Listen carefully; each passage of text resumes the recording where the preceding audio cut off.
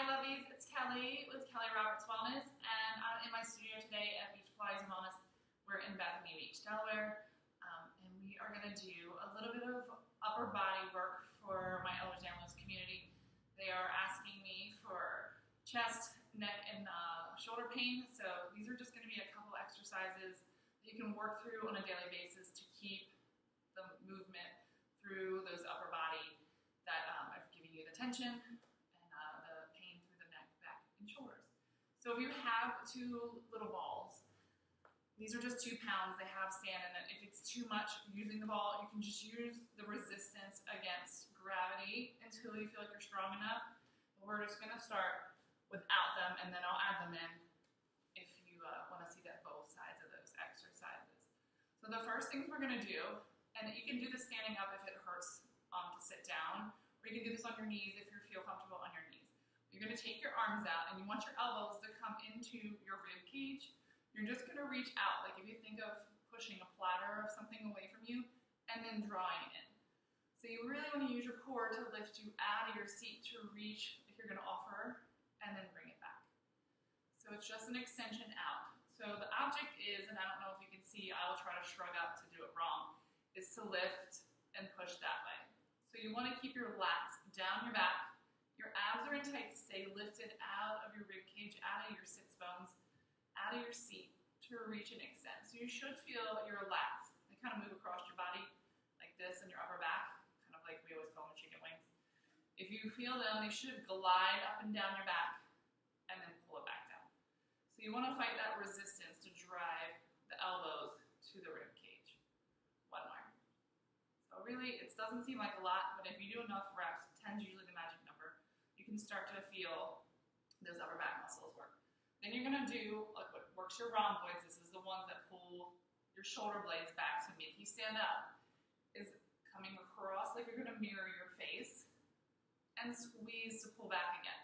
So if you think of your arms like a goalpost, you're gonna pull it back and opening the rib cage. You just wanna watch the popping of the rib cage. So don't pop forward to pull. You just want to glide. Try to keep it on that same level where your elbows go back and then back in. So you can see like I'm not dropping down and pulling. I'm not lifting up real high and pulling. It should stay just the open and close. You should feel your scapula pinch together through that upper back. Okay, one more.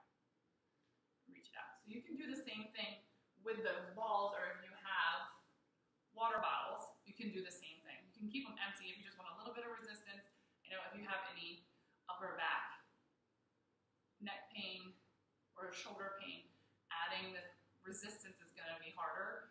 So just work up to that. Don't feel like you have to jump into it. Listen to your body and do what works best for you. You can probably see my left arm is actually working harder than my right. So you want to make sure that you're pushing with the same amount to go into that extension. And if you're hypermobile like me, I tend to hyperextend in the elbows so you don't want to drop there, so just keep them soft. And the same with those rhomboids, opening and squeezing and bring it back in. And if you can't get to 10, then just do where you're comfortable, give yourself a break, and then the next day you can come back to something with a weight or just do your reps, up them up a little bit. Right, we're gonna roll down and come down on your belly. So just like in yoga, your elbows are closed, you're to go into Sphinx. The object is to keep the lower back. So you have to keep your core tight. And the best way to do that is kind of tuck your tailbone or your pubic bone into the mat. So we're just going to go up into Sphinx, and everybody kind of pushes real quick to get up. You're going to lift with your head first to lift into that extension. And then find that resistance to come back down. So you don't have to force yourself up to get into that lower back, but you want to lift in, into that extension so that when you come up, and I'll hold it so that you can see, when you lift up, everyone tends to shrug and sink down into it. You want to push and lift, elongate from the crown of your head. So the lats again are driving down the back, and you have that resistance to come back to the mat. So it's an inhale to lift, and you're keeping that lower back protected by keeping your core in tight. That's going to keep the SI joint from sliding in and out if you're unstable or if you get a lot of lower back pain when you're doing Pilates, it means that your abs are not engaged. Again, watch the shrugging or the sinking into it. You should feel your sternum lift off the mat and just that gliding down of those shoulder blades. One more. Gonna inhale the lift and into that extension, and then finding that resistance back. We're gonna flip over to on your back. And if you want the balls again, you can use them, but you can do the same thing with the resistance of just gravity. So, if you watched my other videos before, in Pilates, you want to keep neutral pelvis. You should be able to keep the two finger space between your mat and your back, and you should be able to keep those abs engaged. It should go right um, across the pelvis, across the sacrum, should be balancing into the mat. So if you stuck a hot cup of coffee on your bladder, it shouldn't spill. Right, so just into the supine arm work. Everyone tends to round into the shoulders to try to get their abs to engage. You want the opening and those lats to come to the mat. So you're widening across the collarbone, and we all tend to pop up in the rib cage. So you have to think of like closing down, putting corset across the rib cage. Or if you think of blowing out 80 candles on a cake, it tends to close down the abdominal wall, closing down the rib cage, and it engages the pelvic floor also.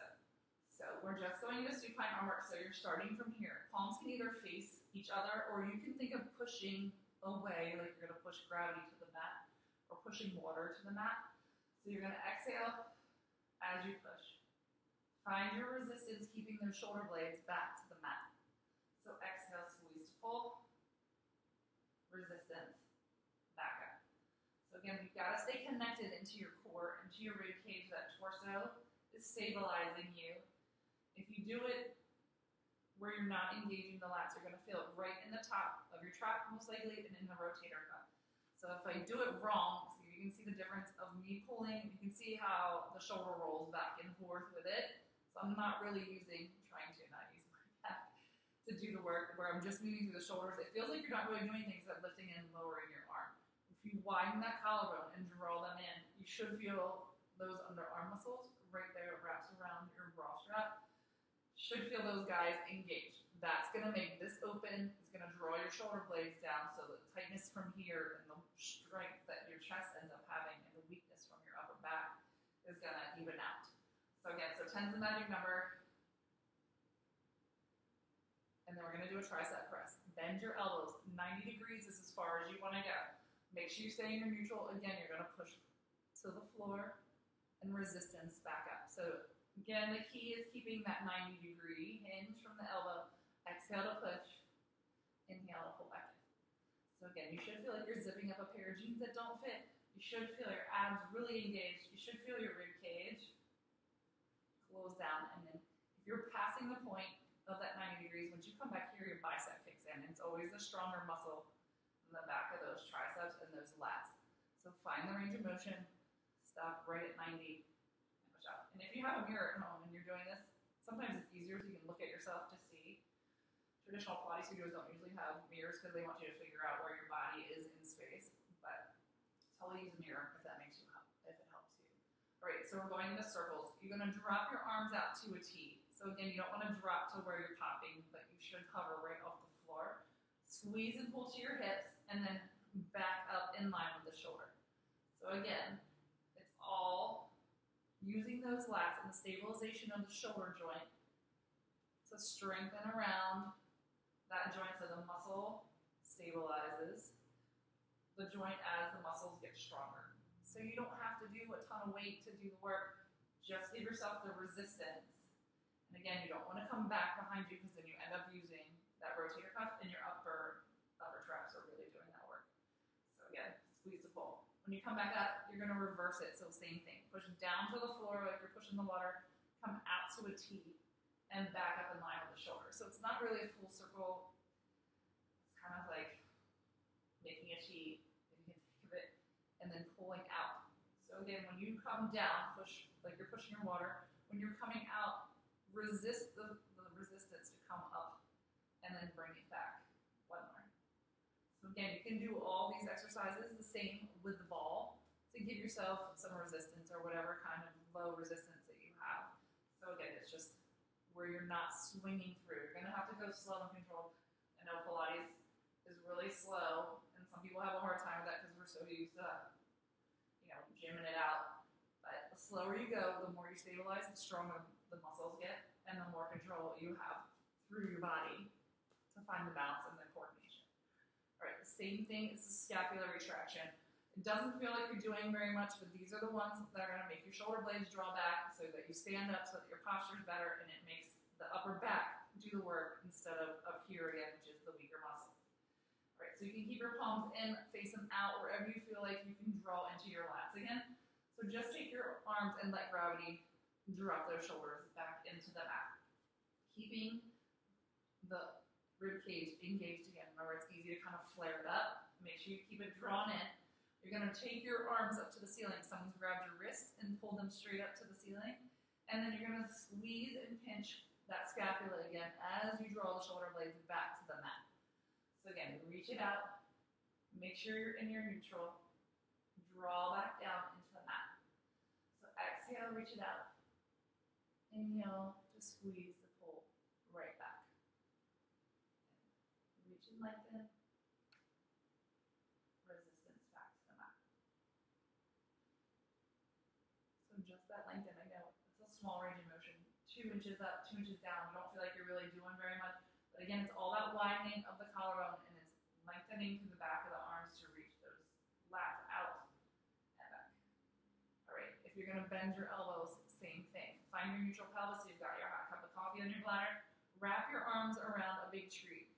Open up, tap the elbows to the floor, squeeze your wrap around. So make sure that you're finding your forearm. You don't want to be up here because you use the top of the shoulder, kind of thing coming right across your bust line or right across your chest as you pull around and then open back up. One more. Okay. Come back up. Now, anybody that has any shoulder instability or tends to get any impingements in the shoulder, you never want to drop your arm over your head.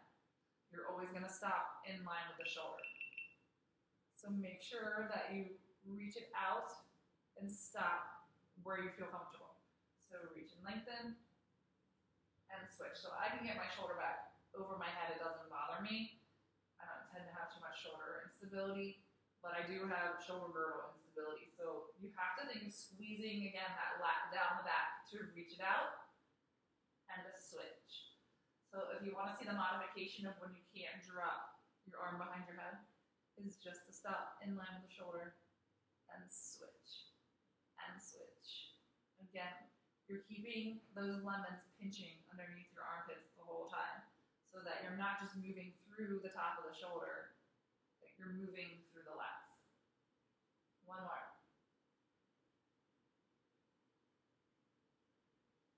Okay, all right. Just bring your knees in for a second. You want to roll yourself up safely. Put your feet to the mat, scoop and round yourself up, and then we're gonna just bring yourself back to where you're seated.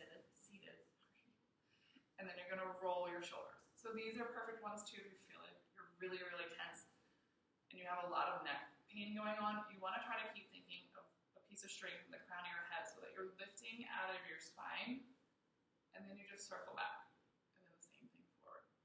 So roll it, you might have to drop your head down. So try to find a focal point where you're going to keep your head in line and up, and then you're just going to drop your right ear to your right shoulder. So kind of like you're going to listen to your ear. Sorry, listen to your shoulder. And if you want, this is probably not the best if you're not okay with your neck, but if you want a little two finger pull, you can. Just don't pull hard on the neck. And then you're just going to slowly roll forward. Never roll it back, always go forward. And then that left ear to the left shoulder. And another probably safer way to do it if you have a lot of neck injuries or tension or pain is to pull the opposite shoulder. So you can just cross your arm across and just bring it down lightly so that you get that length out of the trap. And then come back to center and then just reset back into it so that you're sitting heavy into your hips. So those are a couple exercises I hope they really help with um, a lot of neck, shoulder, and upper back pain.